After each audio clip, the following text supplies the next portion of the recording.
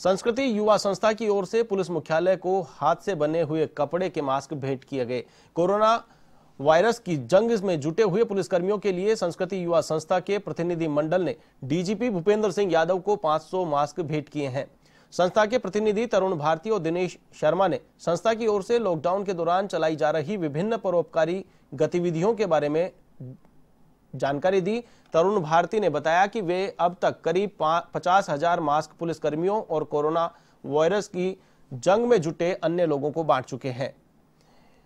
और इसके साथ ही गरीब असहाय लोगों तक खाना पहुँचाने का काम भी किया जा रहा है।